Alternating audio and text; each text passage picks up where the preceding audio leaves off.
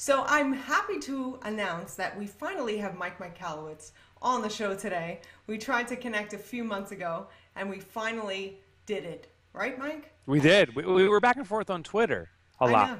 We were You- connecting you on Twitter. My favorite picture, by the way, with a book of all time. You had like, you had the tongue out. You're like, ah, like you were screaming. Yeah, yeah, yeah, like that. Yeah. That one. With the hashtag profit first. Right? Yep. Yeah, so we did that, and I like, I've never seen it before. I like that. I remember. you like that? yeah, yeah. Cool. Very cool. So, um, I just saw on Twitter yesterday that you came back from Hershey Park. Yes. I, oh yeah. Look at this. I even got my little keys fob still. Oh, I- come on. yeah. They, go, they put your name on it. I don't know if you can see that. Um, Tilt it down a little bit. There we go. Yeah. So they put your name right here on these I see keys. that. It's a shame because it's such a waste of uh, plastic. Like you can't reuse the keys now. Um, What's the key for? well, it's for the hotel room, but then also to get on the shuttle bus, you have to display your key, and that's why they, they have the name on it. Uh, oh, I see. It's yeah. not like the key to the city or anything. no, no, it's not even close. No, Oh, gotcha. it would be a pretty awesome key because it's all chocolate. So if you're, in, you know, if you're, in, not the right kind of chocolate. I'm sorry. Love me No. some chocolate, not that plastic. yeah, no, no, that's not the right kind of chocolate. And, Yeah. and Hershey's chocolate is kind of, it's it's good, eh, but there's certain chocolate that just blows it away. I've had like dark chocolate with like salt on it and stuff. That is just amazing. Mm-hmm. Hershey doesn't make that. s- Nice to enhance. I know. Yeah, I, I've yeah. been to on the tour as well. It's it's a cool place. Cool, But but it's definitely cool. It's nice to have you home, Mike. Yeah, well, thank you. It's good to be back. Here in New Jersey, been touring the country, I know. So Yeah. I, I want to uh, give you all a little introduction. If you don't know who Mike Michalowicz is, you sure will know very It's like, soon. who are you? If you don't know who I am, like, who are you? Yeah, I know. Best-selling author. It's crazy. So by his 31st, 35th birthday, um, Mike had founded and sold two multi-million dollar companies. Okay, so he was confident that he had the formula to success, and he became an angel investor, and then he lost his entire fortune. Then he started it all over again, driven to find better ways to grow healthy, strong companies. So Mike created the Profit First formula, which we're going to go into today, a way for businesses to ensure profitability from the very next deposit forward. So he's now running his third million dollar venture, a former business consultant for Wall Street Journal, a former MSNBC business makeover expert. No wonder it took months to get you on. uh, and the author of one of my favorites, The Pumpkin Plan. And I can't show you this way, Pumpkin Plan, because it's on audiobooks and it's on my iPad, which actually have my notes for today's interview. So uh, I was having so much fun um, in, in the car traveling, listening to The Pumpkin Plan. Uh, on my way to the destinations, and every so often there would be just some real character, okay, for lack of a better word, Yeah, yeah, yeah. just making me laugh as as I would be listening to this book and just kind of talking like this, you know. And it was so funny. So I just want to say that your reads are really, really easy and they're so much fun. Oh, that's So awesome. yeah, you. so welcome to the show, Mike. So Thank you. Thanks for having me on. Thank I'm you so much. fired up to be here. I am more fired up. I am so excited to have I you no. I'm more fired up. You better watch. I'm more Are you? fired up. Oh yeah, Do you know. I'm from Brooklyn? Is that what I know you're from about? Brooklyn. So, yeah, That no, I, I know that does scare me a little bit. yeah, it does scare me. bit? All a little Well, this is Skype, so you're safe. Yeah, Okay. I think. So I want to ask you a question because I, I was reading the book. Okay, I, Yeah. I did, and, and I got your, your PDF download, and we're going to talk um, a little bit later on in the show about that, how people can get their download of, of a piece of this book, uh, which is fantastic. And when I was reading through it, I was really caught by the first chapter, um, actually the introduction, when you went into how you were on Creative Live, and I'm a huge, huge fan of Creative Oh, Live. cool. Okay, so yes, I did read your book. I, I know you're probably surprised at that, um, but it's fantastic, and I know that you know, education is, is totally something important to you. I know that you do a lot of lectures and you're on the circuit all around the country. So you had an interesting story when you opened up this book about a piggy bank. Can you tell me a little bit more about that? Yeah, yeah, yeah. And I have the hardcover here. So you have the pre-release copy. This is the uh, the hardcover that's now out. So just in case- yeah, that yours like kind of wobbles. This one's like a rock. Uh, same thing. It's the exact same thing. But um, so yeah, so my piggy bank moment, I call it, was after I sold my second company. Uh, I became a millionaire, and I was 35 years old. And what happened, I sold to a Fortune 500, and there was all this fanfare of selling a company. And something changed in me, which I never thought would, because I promised myself I'd never be one of those guys. Mm-hmm. But I just became full of myself. I was arrogant. I was like, oh, I am a genius. I know how to build companies and sell them. I can do this over and over again. I'm Mr. Money. Look how great I am. And started buying trophies to show how successful I was. The cars, the bigger house, I moved into an expensive town, right. joined the club, mm-hmm. you know, like the private club, all this nonsense. Um, and also became an angel investor at the same time. Um, an angel investor is someone who's, who invests in brand new startup companies. Right. Well, ends up I'm the angel of death because I sucked at investing um, and I was full of myself. And it took me a mere two years and I lost, I mean, I lost everything, Vickie. And uh, I came home to my family. I have three children. Mm-hmm. I sat down my wife and my kids uh, on this day and, and t- told them I lost them, lost everything. Mm-hmm. And, it's, and, it's, something I was keeping secret from from them. I was, I was lying by omission. I was like, oh, I'll fix this. And I just kept on throwing money, good money after bad, effectively. Okay. Lost everything. Told them I'm, I was sobbing. Uh, I was so embarrassed and ashamed of what I've done. And my, my daughter, while I was telling them this, ran out of the room. She was nine years old. Mm-hmm. And I remember Vickie when she ran out. I wanted to run out of the room too. Like that's what I wanted to do, run away. Right. She came back. Mm-hmm. 30 seconds later, with her piggy bank and she put it down and she slid it to me and she says, uh, Daddy, I'm going to help us. I'm going to support us. And, um, and that's a tough moment. That's a tough moment. So it's, it was the most humbling moment of my life. Mm-hmm. And it was the, it was kind of a slap to the face that I needed that I was so financially poor poorly prepared. I was I had no understanding of financials, even though my ego was saying I know everything about money, how to make it, how to keep getting it. I really knew nothing about it, and I realized then that profit is not an event. It's not something that happens one day. It's not some future moment when you sell a company or that big client comes in. Mm-hmm. Profit is not an event. It's a habit. It's something that has to be instilled in us that we have to live by every single day profit's a series of many small, small wins, mm-hmm. but happen every day as opposed to these big moments. And uh, I then endeavored to, to figure it out. And that's actually how this book came about. Like this, this came about four years later, five years later, okay. after having that, I started to f- kind of figure out the formula. And, and I think I found it. I think you did too. It's a great read. I've been looking at the reviews on Amazon.com, and they are just insane. I have to read one of them. This is Mike Michalowicz has got it right. Cash is the lifeblood of every business. And as I just read the, as I read just the introduction in chapter one, right, like I was talking about, of Profit First, I knew Michalowicz was on. Is it Michalowicz or Michalowicz? No, you're nailing it, Michalowicz. Okay. Like you're the it's that Brooklyn accent or something that's I was reading the phonetics. Look, I'm trying to control the Brooklyn accent a little bit. I, am hoping I'm doing a good job. But, You're nailing it. Okay. Like, yeah. Okay, so I knew Michalowicz was onto something very profound. If you were watching me read the intro, you would have seen several open-handed slaps to my forehead. That's pretty powerful. Okay. That's cool. So yeah, so talk to me a little bit about why entrepreneurs do struggle. Um, yeah. Ever making a profit. Tell yeah. me a little bit about that. Yeah, for sure. So there, he, here's what blew my mind.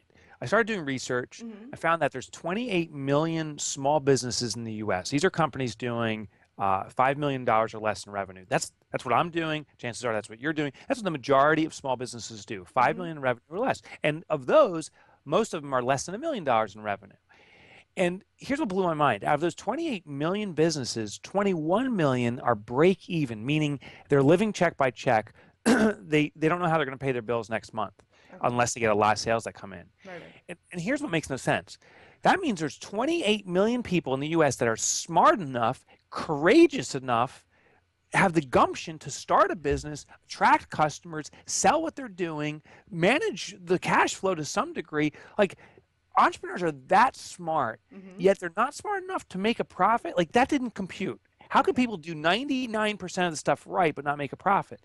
So I started researching out what's the common things that entrepreneurs are doing around money. Right. And I found there's only one thing.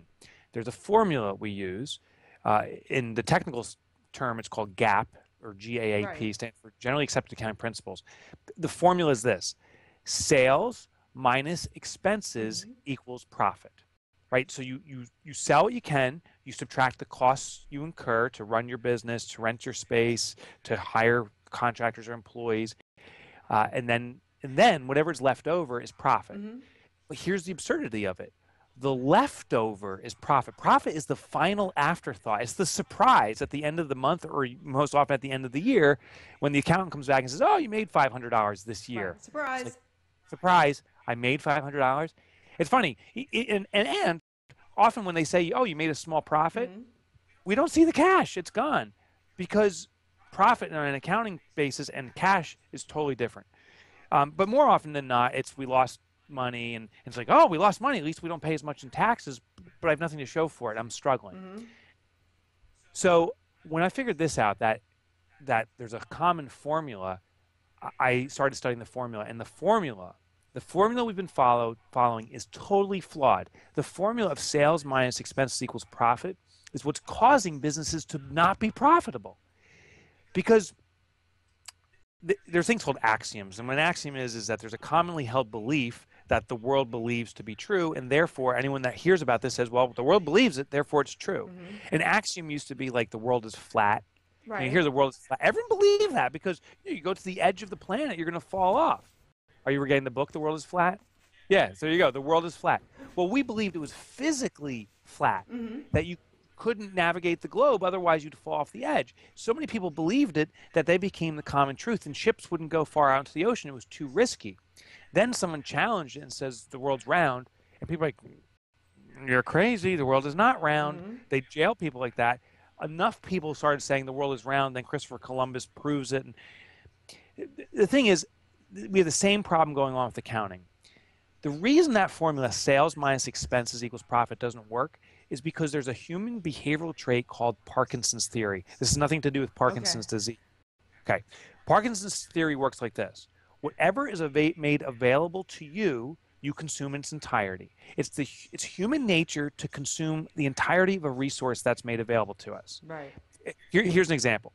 Say you and I are doing a project together, and you, I say to you, "Hey, Vickie, it's going to take me a week to get this project done. Can I turn it in next week?" Mhm.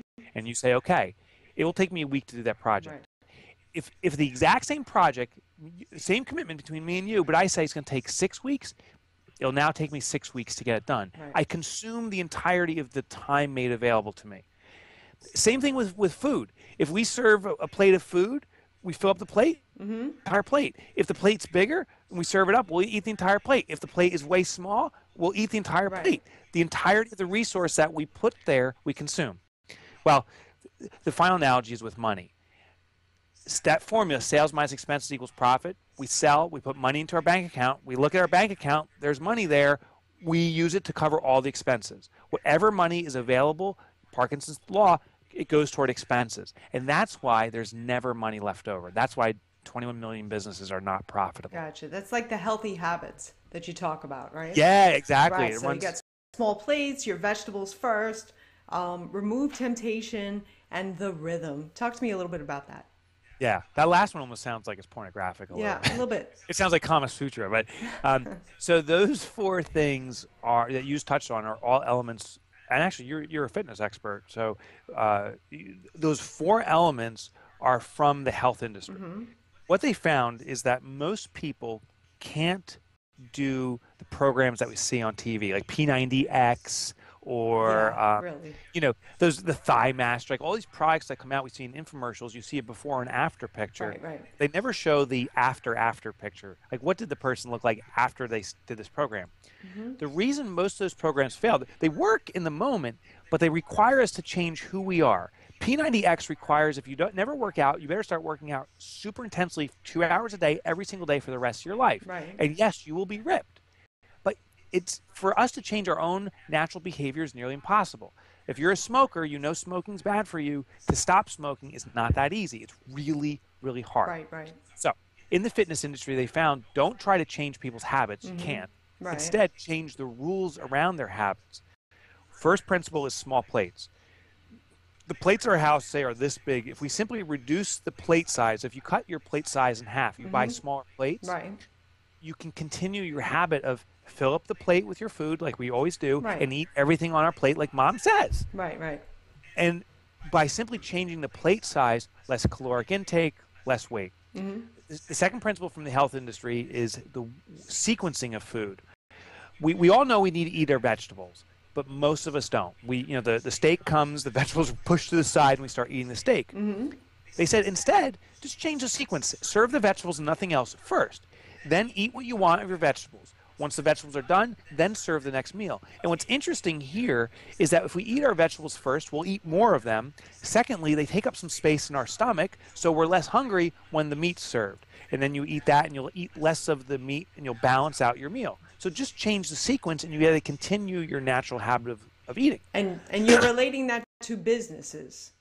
Yeah. Okay. Yeah. So here's I can start tying them in. Gotcha. When it comes to the small plates Mm-hmm. um, in the health industry, most businesses have one large plate for their business. It's called their checking account. Mm-hmm. Uh, most companies uh, that I meet with, most entrepreneurs have a bank account. Maybe they have a second one, but that bank account um, is where all the money comes in, all the deposits, and then when they're paying bills, all the money comes out of there. Right, right. That is one massive plate. It's very hard to see clearly where the money really should be allocated. We see thousand dollars come in in our plate, and we say, "Oh, there's a thousand dollars for bills. There's a thousand dollars," but that's not true. That money has other purposes. But since we have one massive plate, we can't tell. Um, just to really play out this analogy, because I want to drive it home. Um, like think about Thanksgiving. We serve that one big plate with the turkey on it. It would be absurd to tell the family around the table and friends to say, "Oh, just eat eat off the plate. Just eat off the serving tray." Because you wouldn't know what's a portion for who. It'd just be mayhem. So what we do is we cut slices and you hand it to each person so everyone has their fair share of turkey. Right. Well, we need to do the same in our business. When money comes in, Mm-hmm. the very first thing you need to do as a business owner is to move a portion, a percentage of that $1,000 deposit into different accounts, different small plates. I suggest that there's there's four core accounts to set up: a profit account, Okay. owner's pay account, tax account, and operating expenses, what we use to run our business Right, right.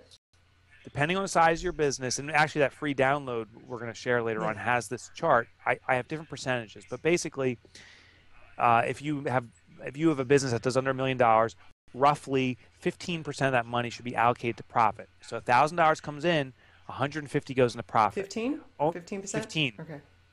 15. Owners pay for most sub million dollar businesses is upwards of 30 or 40%. So that means, say 30%, $1,000 comes in, $300 is allocated to owner's pay. Mm-hmm. Another 15% or so should be allocated to taxes because ultimately a business should be paying your taxes. You shouldn't be surprised in the end of the year saying, oh, I owe taxes. No, your business should pay for this. We have to allocate money there. And what that means then is about 40% goes into operating expenses. So when a $1,000 check comes in, Mm-hmm. Yeah. it does not mean that we have $1,000 for expenses. You have 40% of that. $400 goes into operating expenses to pay bills. And by pre-allocating money, what happens now is we see the small plates, we see what money's available for what purpose. Okay. And then you notice that I don't have $1,000 to pay bills, I only have 400 I I need to cut my expenses. Mm-hmm. I need to be more frugal. And and this also by by allocating this money first, this is the principle of vegetables first. You're first putting money where it belongs. You're you're taking care of the business and yourself first. Second step is the meat and potatoes. Second step is to pay the bills with what's left over in that operating expense account. Okay, that's great. So, a little scary, but it was great to have you divide it up into kind of four basic accounts, right? For for a business. Just want to recap that. So, that was really great and how the owner takes their own percentage, like say it's 30 or 40%, right? And they put it into a, an account rather than living off of that big serving plate with the turkey on it, Right. right? Right, but that's how most people do. What most people do, we look at that account, and, and so what it results in is these highs and lows. Like, say a big check comes in. Yeah. Say for me, like if a, if a ten thousand dollar check comes in, that's a big check. Right. Ten thousand dollar check comes into my business. Mm-hmm. I look at my bank account. I'm like, whoa, I'm getting paid this week, baby, big money. And then I look at my stack of bills I've piled up and say, well, I better pay these bills. And then, oh my God, I have more due than I expected. I can't take any money this week. And so it's these constant highs and lows, highs and Right. lows. very puts us in a very reactionary kind of panic mode, a survival mode. Right, and that's I yeah. That's great. No, that's a great idea to really have your account set up so that you're always dividing it up so that you're you're living in reality. You're not just, you know, just living off of the the big turkey. I'll always think That's of that. Exactly. Now. It forces yeah, exactly. And it's a great visual. I mean, it forces you to live in reality. Mm-hmm. And when once you realize you don't have nearly as much money available for expenses, it's a little bit of a, a cold bucket of water in your face. Yeah. It's like, whoa. But Mm-hmm. It empowers you because now you know what you need to make your business run on. You got to make your business very lean and mean, and this forces that. Absolutely, and and I think it's the next step. It's perfect from reading the pumpkin plan and how you have to just kind of take the the little pumpkins that are just taking the the all the food and the nutrients from the yeah. main vine. Oh, I, I listened. I well, I read. I love. I guess. And then now you're you're progressing to show those same businesses who read that book and also toilet paper. That's another story. But uh, entrepreneur. It's like a cult yeah. classic. It's ridiculous. So um, yeah, so this is like the next progression and how you can stay profitable, right? Learn how to, you know, keep those clients that are making you money and build and nurture those, and then stay in a profitable place. Yeah, I wrote those books in that sequence because well first i wrote toilet paper entrepreneur because I, I felt compelled to write it. Uh-huh. but then i started asking my readers i said well what's the problem you're facing now? Yeah. Well, toilet paper entrepreneur was all about getting started and, and following who you are and exploiting yourself your passion and so forth and doing it very frugally. Right. Then people said mike i got my business started. It's not growing fast right. enough. Help me make it grow so i wrote pumpkin plan now here's an interesting trap with pumpkin plan you start growing your business and, and maybe you you hit the numbers that you always dreamed about mm-hmm. but the the business becomes kind of a cash eating monster so that's why i wrote yeah. profit first and and now that you've started to grow how do you get control of the financials right. otherwise you become enslaved to your business yes and no, I think it's great. And you're listening to what entrepreneurs want and need. And I think it's great how you came out with this book. Then you know that there's a need when you come out with it, right? Yeah, yeah, yeah. yeah I'm, I'm to some degree. I, I hope I'm taking my own medicine. Yes. Identify who your best consumers are. For me, it's readers. Mm-hmm. Communicate with them, talk with them, eh, learn from them, and then write or, or produce a product, mm-hmm. a book that serves what they need next. Absolutely, absolutely. I think that's a great business model. Um, so I want to ask you what taps are. You talk about that a little bit in the book. So are they yeah. the starting point or the place you end up the end game? Great question. You see, I love someone who's so prepared. I love it. So, uh, TAPS mm-hmm. stands for Target Allocation Percentages. Okay. It's the percentages we just talked about. Mm-hmm. You have that big serving tray, that yeah. big turkey, uh, a ten thousand dollar check. That's your income. Got it. You now need to divide it up to these different accounts: profit, owner's pay. I said profit should be fifteen percent, for example. Well, that's a TAP, mm-hmm. a target allocation percentage. Okay. That's where we should be targeting and try to get to here's the key when people learn the system, and basically you've learned the basics already, so folks watching right now could actually start doing this. Call their bank, set up some accounts. Mm-hmm. One mistake I see people make is they say, "Wow, I'm going to start allocating 15% right away. I, am no, you know what? I may do 30% because I want to be really profitable." And there's this excitement to do this, but it's like it's like saying I'm going to start working out, and that first day you just work out so hard, you just, and the next morning your muscles are cramped, you've teared tore muscles, you can't move from the couch, and the program becomes a failure because it's way too intense, too fast. Mm-hmm. So taps are what we're targeting, and as I said, I have this in the what we'll share after, at the end of this uh, interview. Okay. I'll share the uh, in the book all the different targets I suggest, but to get started with the program with profit first don't start at 15%. That's where we're moving toward. Instead, start whatever profit you've had in the past, say it's been 1% of your income, and add 1% more. Okay. So if you made, if, if of your total income, 2% was profit last year, add 1% and start, starting now, our allocation percentage is going to be 3%. I call this CAPS, by the way, current allocation okay. percentage. So your cap is what you're doing now, your current allocation percentage. Mm-hmm. TAP is what you're targeting. Then next quarter, so every 90 days, there's four quarters a year. Every 90 days, add another percent. So do 3% profit. Every deposit, 3% goes to profit. Next quarter, 4%. Next quarter, 5%. And within a couple years, you'll be up in the 10, you know, the digits, the 10 or 15%. So very quickly, you can ramp up. But what this allows is for your business to adjust Because if you add 1% more to profit, if you add 1% more to pay, maybe you allocate a little more to taxes because you're going to have more taxes, right. which you know, usually more taxes while that sucks, it's an indication that you're actually making money. It's a good thing. Mm-hmm. To get those percentages there, you must reduce your expenses. So if you were doing 40% going to operating expenses before, now it's got to be 39, 38. You got to push that down. This adjustment of just adjusting a little 1% every quarter, getting closer and closer to that tap, allows your business to adjust in a much more healthy way. It's not too abrupt. Okay, so is there an individual tap for each type of a business, or is it just in principle? Yeah, so every business ultimately has its tap, and, Okay. and every business can argue it's unique.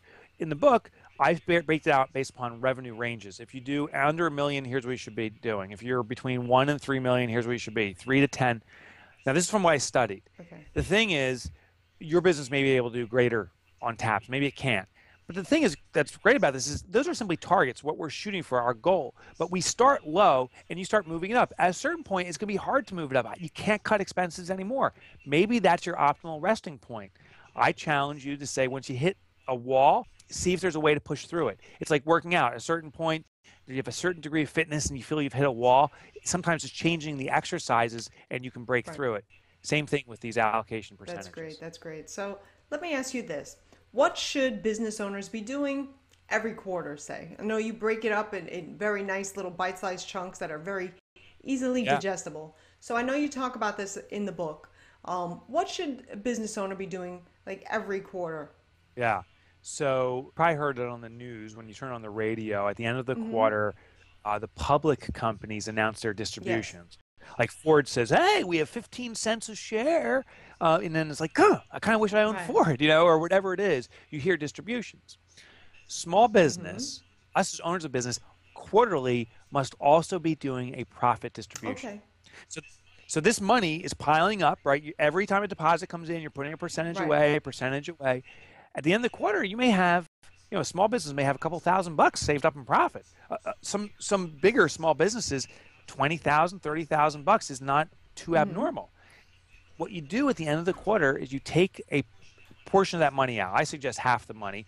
Half stays in as a rainy day fund because there may be one day that someone gets ill, the business gets hurt. You need some kind Right, of right. cushioning. You can become your own bank. But say say there's just for round number sake, say there's a, there's ten thousand dollars of profit that's accumulated in there.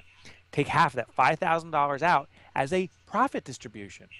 And and this goes right to you. Now the, the rule with this is that money is profit. You're not allowed to put it back into the business. That would defeat the system. You can't plow it back. You can't reinvest. You go on vacation with that. You celebrate with that. You get the thing you've always wanted with that. This is where your business is no longer a cash eating monster. You're changing the dial that now it's serving you. It's a cash cow. And you need to do this because it's a celebration. You know, if you get 5,000 bucks extra out of your business in addition to paying you whatever is going on, you know, as owners pay, an extra 5,000 bucks in profit every quarter, it's sounds awesome. great. And when, when, when and when Ford says we have a 15% per you know per share distribution, you're like 15 cents. I got 5,000 bucks coming out, pal. Like it really empowers mm-hmm. you. It really empowers you. And quarterly is the, is the way to do it. That's what big companies do. Small companies can and should do it. Okay, Yeah. that's great. So I want to ask you about the system profit first. Is there a risk of businesses doing it alone? How should they approach it? Yeah, so there is a risk of doing it alone. Many entrepreneurs say this is great. You have the whole system now. You can start doing it. I hope you start doing it immediately. But there's a problem is there's there's going to become a day where you can't pay your bills or you had a quiet sales month or three consecutive months and it's really tough. That's when if we're by ourselves, it's easy to say, well, I'm going to stop doing this profit thing. I'm going to put that on hold. I'm going to borrow for myself. And we start defeating the mm-hmm. system. You see, when, when you don't have enough money to pay bills, that's your business screaming at you and shaking you, saying, you can't incur these bills any longer. You got to stop doing this. But it's easy to borrow from ourselves. So when we're doing this by ourselves, it's easy to break the own, our own rules. We need accountability partners. And this is like a, you know like working out at the gym. If you want to get the best workouts, get A get partner. a partner. Someone else that's going through the experience Right. with you. I mean, you really want to crank it up? Get a partner and a trainer. Some a trainer knows the process, has been through with hundreds of other people, can tell you how to do it without getting hurt, can get you past the plateaus. A workout partner is someone that's in the game with you and is going to work. You know, when you don't want to work out, they're calling you saying, hey Vickie, you showing up? I'm at the gym waiting for mm-hmm. you. And it's like, oh yes, I'm showing up. In our business, get an accountability partner. I suggest two types. Get one, uh, another entrepreneur or a group of entrepreneurs that are um, are, are in, in the profit game too, that want to maximize their profits and support each other. In fact, on my website, mikemichalowicz.com, I have a resources mm-hmm. section. Mm-hmm. I set up a guide there for how you can run meetings with peers. It's totally free. Just just do it, and you can support mm-hmm. each other. The second thing is get a get a trainer. Your your accountant or bookkeeper should be helping you guide profitability. And I'll tell you, if you have an accountant or bookkeeper that does your taxes or does your books, but doesn't help you maximize your profitability, they're not a trainer. Um, there's folks out there, I, I, call them profit first professionals. These are people that are understand the necessity for businesses to be highly profitable and can help guide you. So uh, I, I have a resource for that too on my website. If you check it out uh, on the resources section, I can hook you up with an accountant or bookkeeper that does that if, if your bookkeeper doesn't. Um, but you, you, you should have a professional that's helping you drive profitability. I, and I'm interested to know this um, this wasn't a planned question, but I'm very curious because you speak like very passionately about accounting and the importance for businesses to really understand where their profit rests um, before they just keep going out and getting more and more business and just not turn profit. Yeah. So, do you have a background in accounting? I'm just curious. No, no, no, accounting. Actually, I was a D student in college. So, I, and I was a finance major. I struggled, of all things, I struggled most with accounting. And I think here's the deal. I think accounting sucks. I still do. I, I think it's too complicated. I think there's way too much going on. The system I'm telling you is it, it supports accounting, but it's really a cash management system. Ironically, just getting this small, simple stuff right that I'm sharing mm-hmm. about, all the accounting on the back end takes care of itself. You don't have to worry about the accounting. So these small steps takes care of everything, and that's why um, this has been so successful for me because I hate the accounting. I an income statement, balance sheet, cash flow statement, time together, understand what's your inventory turn, all this stuff. It makes my mind want to explode. I had to find a better way. That's why I did okay, this. so so you're more the strategy, and then you hand it off to your accountant when you do these simple steps to just take your money and put it in these you know smaller accounts and just have a way to go through it, right? Right. So yeah, I, I do this every single day myself. I the natural tendency of myself, and I think most entrepreneurs, is to log onto our bank account every day. Every morning, I log in, see what my balance is. I do not go into my uh, my accounting system and, and, print out my income statement and tie it to cash flow okay. every day. But so this system you're learning is all about what we naturally do. Our natural habit is to log into our bank account. If you set these additional accounts, you do these percentages, it all takes care of itself. Then once a quarter, I meet with my accountant. He's he helps me enforce profitability. I've taught him this system, and he's helping me now. He runs the books. He does the reconciliations, right. all the accounting stuff. And uh, it's funny. I have a meeting with him next week. It's, it's my most profitable quarter ever. And last quarter, where I met with Keith, my accountant, he goes, "Mike, I don't know how you've done this, but what a turnaround! Your your business has been so profitable." He goes, five consecutive years of profitability. He's never seen this in any business. Now, think about that. Logically, accounting all makes sense and it works. Just the way entrepreneurs behave, we don't sync up with it. Not most okay. of us. So therefore, by doing this system, it forces profitability, and the result for me has been five consecutive years of profitability. Uh, for every everyone that's actually used the system that that has stuck with it, all of them have increased their profitability Be- because it just forces you to. There's no alternative. If you follow the system, you have to sure, be profitable. Sure. And and I'm I'm interested to know. Again, this is not a planned question but I'm so intrigued um, by your responses. you um, right. you have a profitability of consecutively, right, of five years. Yeah. So yeah. has your business been profitable in the same way, or have you increased your services or offerings? How has that happened? All right. So this is the weirdest okay. thing. I'm doing less stuff. I mean, I offer less okay. services, but I've gotten better and better at it, and it's resulted in a premium. And here, here's a better explanation okay. of that when people hear about profit first, at first they say, wow, it sounds like I'm really going to drive profitability, but I can't grow. I mean, my business, all I'm going to do is try to squeeze out every single dollar. I can't grow mm-hmm. like that. The irony is actually you'll grow faster, and my business has grown faster too. The reason is this profit first makes you have less uh, money available for expenses. Mm-hmm. Less money available for expenses means you need, need to be way more efficient. To get the same things done with less money, you need to be more efficient. It also forces you to drop kind of the losing things. So uh, if you offer in your business five or six different offerings, I can do web design, I can do logos, I can do brochures, I can do packaging, all these things. This large offering will say, you know, packaging, I rarely do the package design.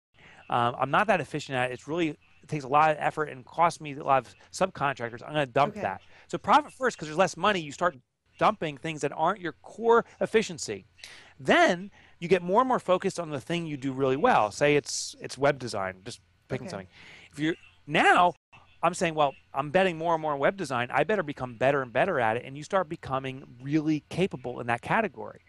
When that happens, clients are more attracted to you and willing to pay a premium. It's the it's the old general practitioner doctor mm-hmm. versus the heart surgeon. A general practitioner can can diagnose a lot of situations. When they figure out what's going on, they then refer you to the specialist. So a general practitioner makes very little money. Th- those doctors, I hate to say it, but are struggling because we go in, we, we something's wrong with my chest, I'm coughing. Doctor checks out and says, "Ooh, that's indications of a heart attack." Go to the heart attack specialist who's going to charge you a thousand times more, but knows what they're doing in all Right, aspects right. of the heart. And of course, me, I'm gonna, I want the specialist. When I have a real need, I want the specialist.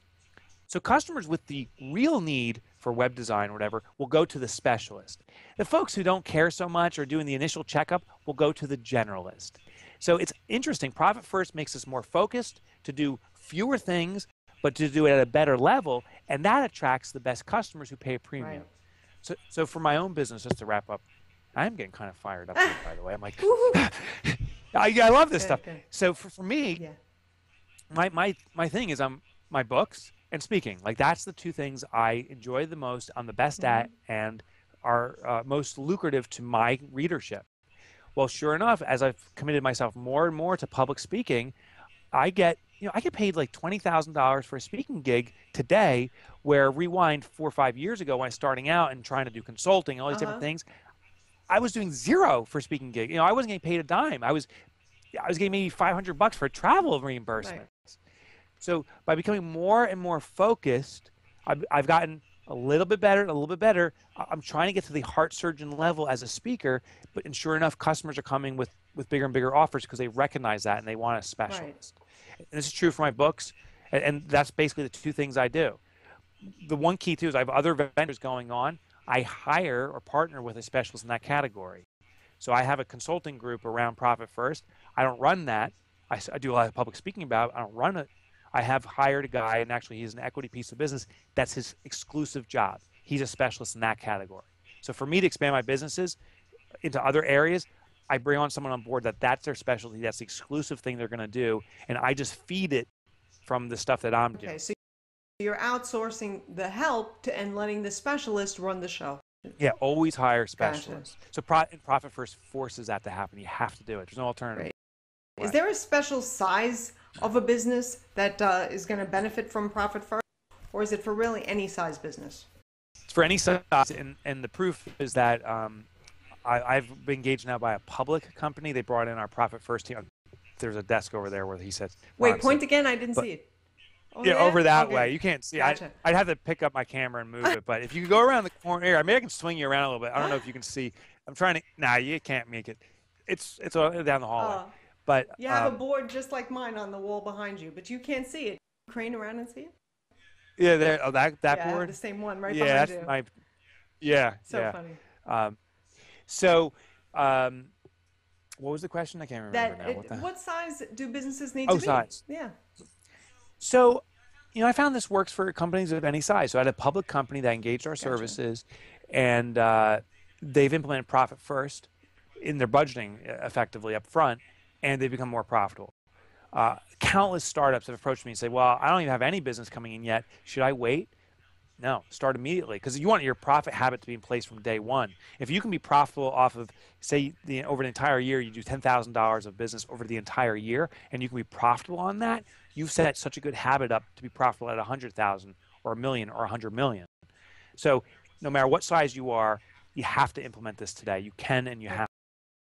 Okay, and and a question that that you raise in my mind is what if a company has a lot of debt that they need to work off? Like they want to be profitable, right? Do they need to work off that debt first? What has to happen? Yes. So yes and no. You have to work that debt off immediately.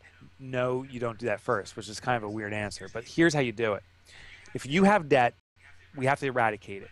But you have to establish this profit habit. Too many people say, well, I'm, I'm going to pay off my debt first and then I'll worry about profit first later. And then profit first never happens. Mm-hmm. And by the way, when people say that, I'm like, haven't you already been doing that? Haven't you had this debt for a while? Haven't you been saying you're going to pay this off first anyway? Mm-hmm. And you haven't, so it's not working.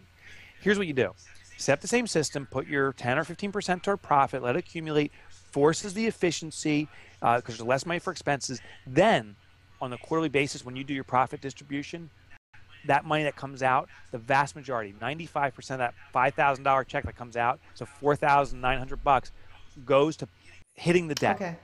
A few dollars, a $100 is left to still celebrate because we still need to be in that celebratory mode. You're not going on vacation now, but you took a big chunk of debt away and you go out for a real nice dinner on a 100 Great. bucks. So you have to keep the profit habit going no matter what. You have to implement this immediately and then the debt will be wiped out every quarter you're going to be hitting it really hard. This is fantastic. This has been so inspirational to myself because this is something that I want to learn for myself, for my oh. business. Yeah, absolutely. And um, I want to let you all know that there is a hashtag profit first. Okay. And you'll see one of the pictures that kind of got us connected uh, starting out, right, Mike? Yeah, yeah. yeah, yeah. So uh, it's hashtag profit first. And you'll see tons of uh, people that have been already jumping in on the conversation. It's just a real motivational and inspiring book, and and I highly recommend that you that you pick it up. And where can people get that book? Yeah, so you can get the uh, the hardcover if you want, or the um, the Kindle version, or the audio version, all on Amazon. And Amazon has the best price going on right now, so that's where I suggest okay. you pick it that's up. That's great. And uh, this this is going to be available on YouTube. Okay, so if you're watching this right now, that's probably where you are, or on my blog where the video is embedded. But it will also be podcast number 40. So if you want, we're actually at 40 now. When when uh, we connected, I was at the beginning uh, when I started out my wow. podcast. Yeah, so we're we're at episode 40 now. So all of the resources um, and everything discussed in this um, interview, including a download for all of our viewers and listeners, right? And what is that um, download? It's like the best download ever. It's like half the book. Nice. It's five chapters of Profit First so if you uh, if you read that, you'll have enough stuff to implement the entire system. It's what we discussed now. The second half of the book, that's the one you have to buy, is the advanced concepts, how to take this to another okay, level. The how. But uh, the how, yeah. But um, yeah, it's a great download. It's you can't get it anywhere else. You can't even go to my website and get five chapters. It's only with Vickie. Yeah, just so. here, just here, yeah. right here, folks. Thank you. Yeah. So how can people get in touch with you, Mike? Yeah, if you want to check me out, go to mikemichalowicz.com. I know that's hard to spell, Vickie. I know you'll put up a link, but uh, give your best stab at spelling it. The one blessing is I'm the best. I'm the only Mike Michalowicz in the world, so I got the best SEO. Give your best stab at it. You'll find me. My website has this book, uh, my other books too, free chapters from there, uh, a blog, um, tons of free resources, uh, and a newsletter that's pretty killer. So you can sign up for that. I love it. I love it very much, and and I love the uh, the visuals because I'm into visual marketing. So I'm yeah. I always look at websites and see how you know the flow goes and see where my eye you know kind of tracks. Yeah, and yeah. so yeah. you have these great visuals. So if you mouse over, you do something.